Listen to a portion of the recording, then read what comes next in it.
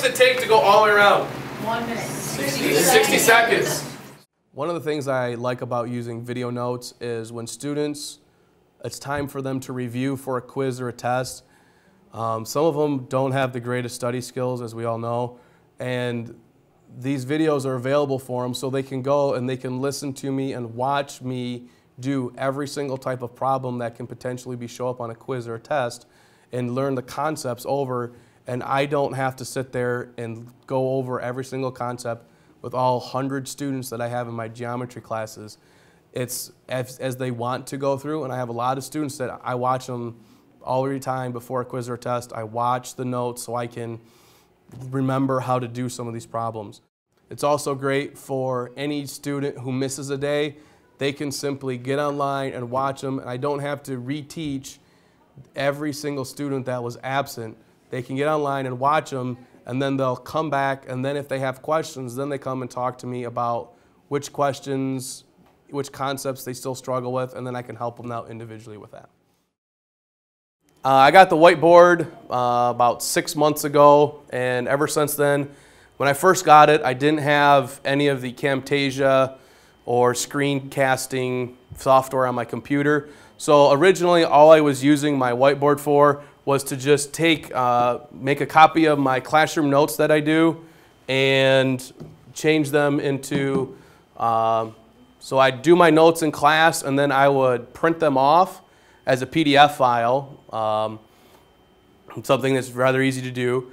And then I would post them on my web page at my school website so that if students missed a day, they could get online, they could get the notes that we did in class, but they wouldn't necessarily know step by step how to work through the problems because they would just see what you see on the board. I would try and do things in different colors when we got to them. So like here, the student would be able to see the setup, but they wouldn't be able to actually see what I did step by step. Then I finally got the Camtasia recording system, and ever since then, this whole second semester, I've been using those to create my video notes. And all that is a matter of doing is pulling up on my smart notebook. Here's the notes that we went over yesterday, and then I would have the Camtasia uh, software running in the background. And then all I would do is I would hit record and then I would be able to start using my notes. So here's the Camtasia Studio. Once it's loaded, all I have to do is hit the record the screen button. And it shows up as what I'm going to record. And then I just need to open up the notes that I'm going to record. And then from here, it would just be a matter of coming over, hitting the record button, and then working my way through my notes. The other thing that I was going to have a problem with was recording my voice because obviously there's no microphone included with a smart notebook.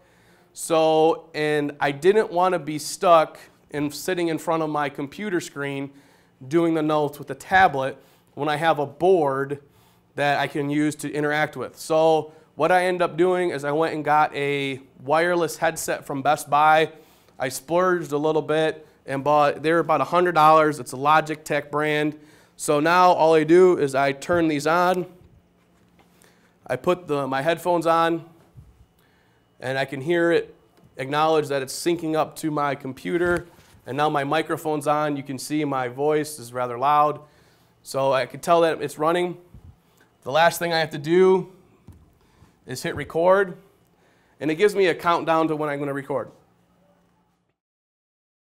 All right, so now that I have everything saved onto my computer, now I'm just in Camtasia, and all I'm going to do, the first thing that I always do, because I always have a very loud voice, is I'm going to go to my audio, and you see this green line down here, that's just the overall volume of my voice. And I usually bring it down close to like 60%, somewhere in that range just because I have a loud voice and students know that I have a loud voice. So when the students hear it at home, they it's just really loud coming through the speakers. So then I just hit finish, and then this just overall progress. I just wait for it to load onto YouTube. Once I'm done with that, I give the link on my web page, and students can get to my web page and click on it and get to YouTube, and they can watch the video anytime they want.